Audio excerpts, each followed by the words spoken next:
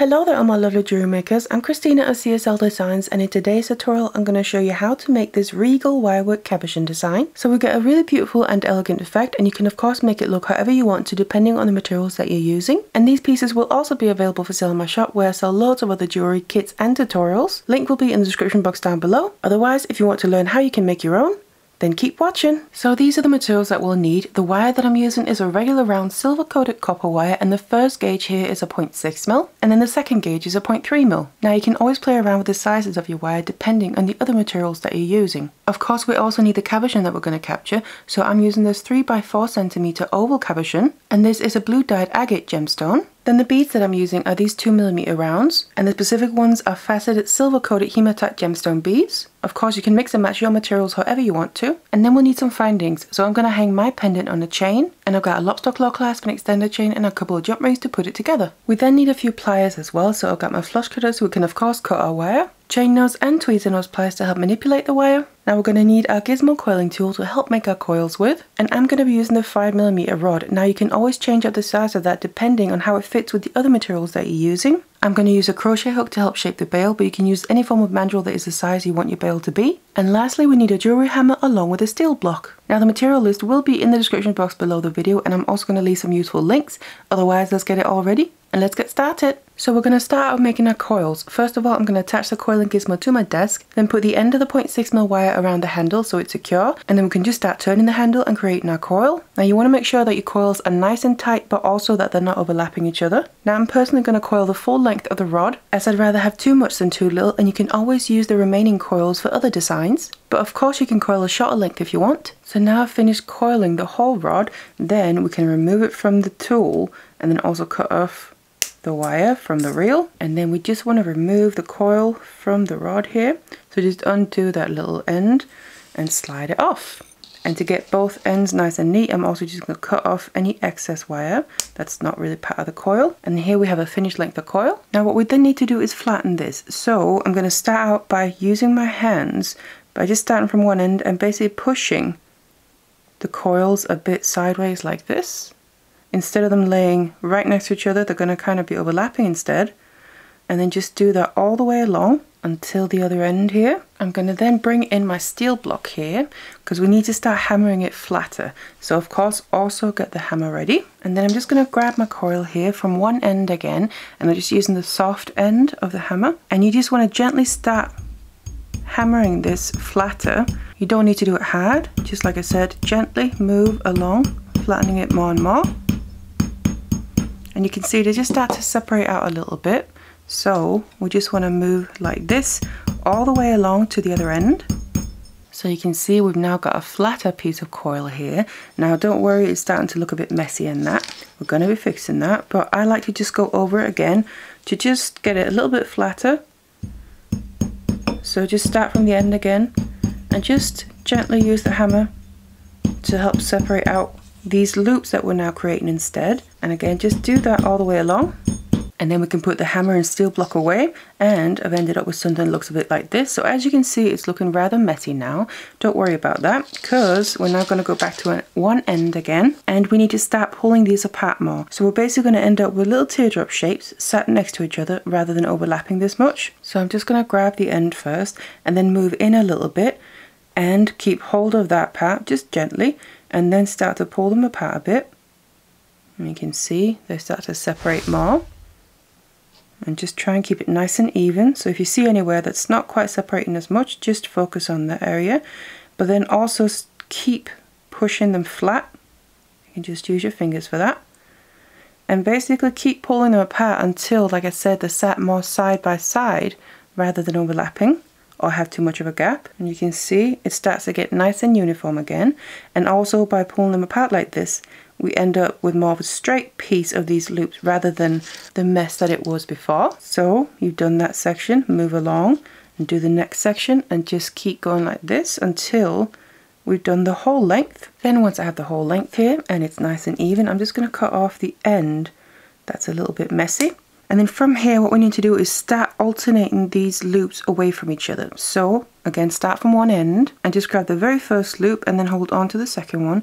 And then in this case, the first one is laying just slightly on top of the second one. So I'm gonna flip this away from it so that basically end up on opposite sides and then I'm to grab onto the next loop which is then the first one on this side and grab onto the one after it and then flip it around again so you can see we're now basically spacing them out more and also getting them on opposite sides and I just want to continue like this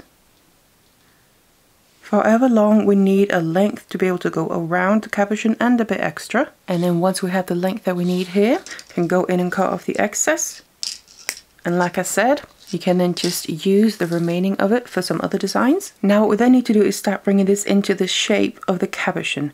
So we need to make sure it stays flat and I'm gonna then have one side of the loops start to get closer together. And obviously in this case I'm using an oval cabochon so I'm just going to get it into roughly that shape. And then I also like to bring in the cabochon itself just to make sure I get the size right. So I'm basically going to lay the cabochon on top of those inner loops.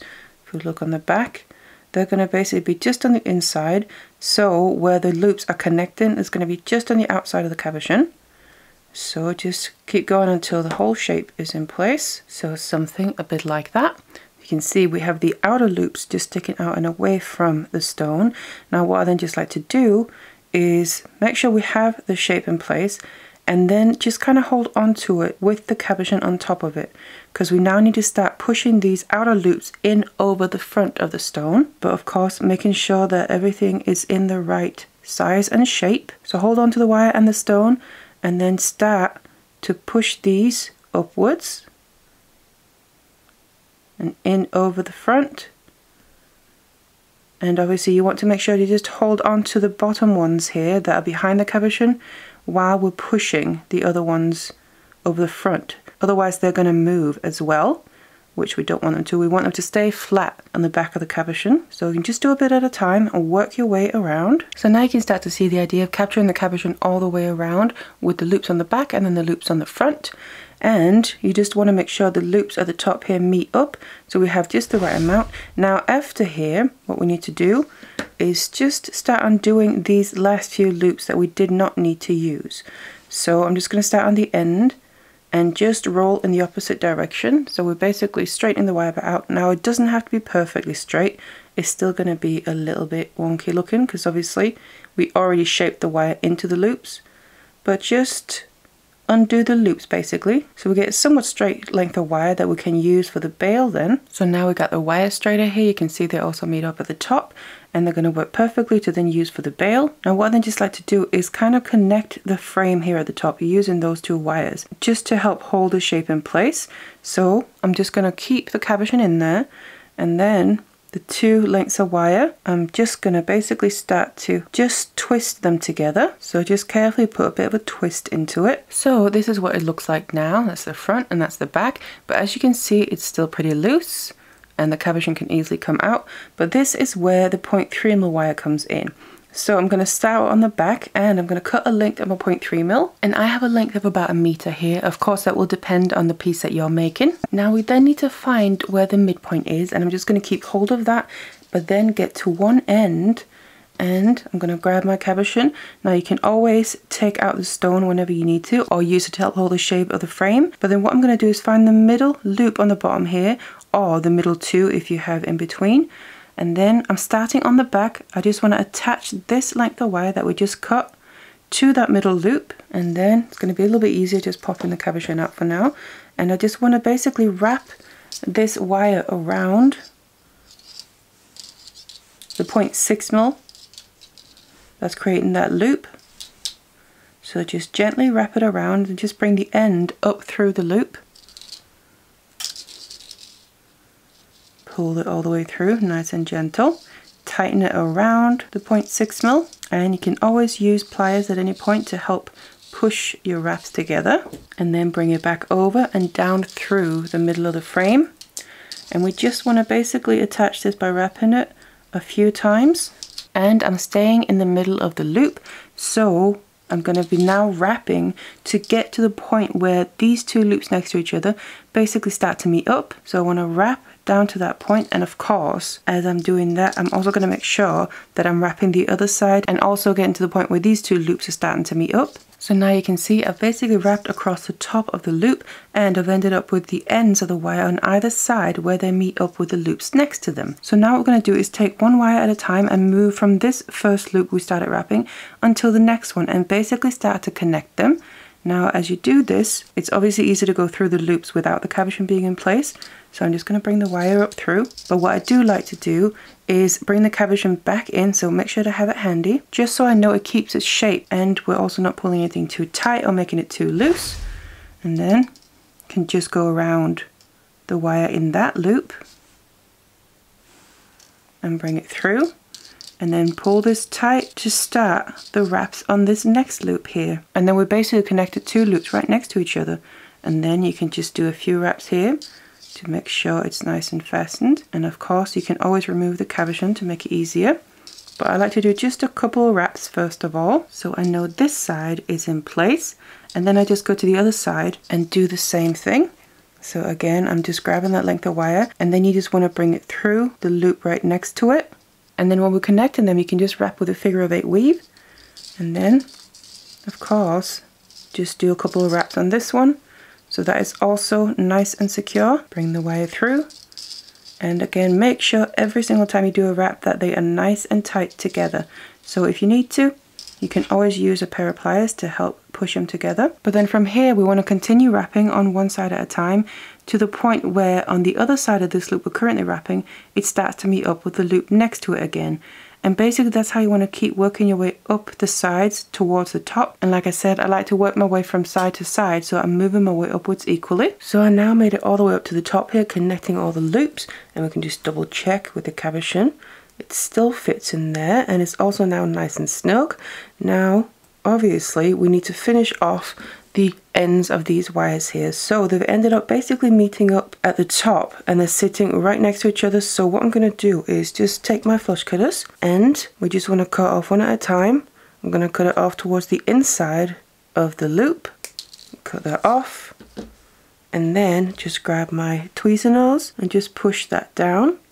And then we have the other length that I then want to basically finish up in the same place so it's going to seem nice and seamless. So cut that off again towards the inside and then just make sure to push that down as well. So none of the ends are sticking out and away from the piece. Then we need to move on to the front and of course these need kind of fastening in place as well because otherwise the cabochon can easily slip in and out of that. So for that I'm going to cut another length of the 0.3 mil, just about the same length as before.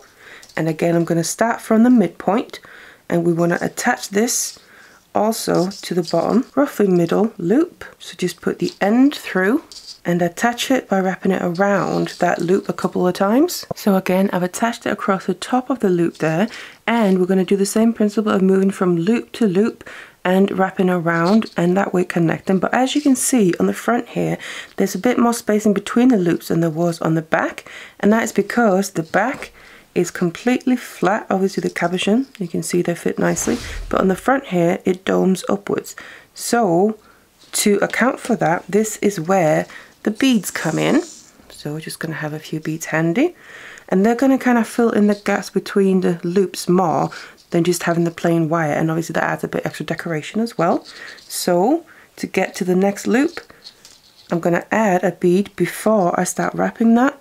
Just let it drop all the way down and that is going to just fill in that little gap perfectly. And then otherwise it's the same principle. Go through the next loop continue in the same direction and then just make sure the bead is going to sit nicely in between those two and bridge that gap. And then just wrap around the top of this loop until we get to the other side of that and of course need to then fill in the gap between this and the next loop after that with another bead. And same principle, I like to work my way from side to side so I work my way upwards on both sides at the same time until the wires meet up at the top just like on the back. Now don't forget at some point we do need to add in the cabochon before we get too far if you haven't done so already so just make sure to pop it in so we can continue capturing it in place all the way up to the top. Then once we reach the top here, you just want to get rid of the excess wires in the same way that I showed you on the back. So then we just need to make the bail here. So what I like to do is just push the twist that we made forward a little bit. Then I take my crochet hook or whatever mandrel you're using, put it right where the bend is behind the twist there, and then start to bring the twisted wire all the way around and then I just want the twisted length of wire here to match the length we need for the bail. Now of course you can twist a bit extra if you need to or undo a bit because then I'm going to separate the two lengths out and as I'm bringing the wire around the crochet hook I'm going to bring them to the front on either side of it. So just like that and we then have a full circle which is going to be the bail itself. And of course we just need to fasten this in place. So I'm just going to bring the wire from one side over the front of the bail towards the other side and then the other one comes over the front and in the other direction there and then bring them out towards the back. So it ends up looking a little something like that. And then what we just need to do here on the back is fasten these in place and tuck them out of the way. So I'm just going to get my flush cutters and we want to cut down the length, but make sure leave a short length of a few millimeters here after we cut it off. So you can see just there we have a short little length. And for that I then grab my Tweezernose pliers and just grab onto the very end and tuck it inwards.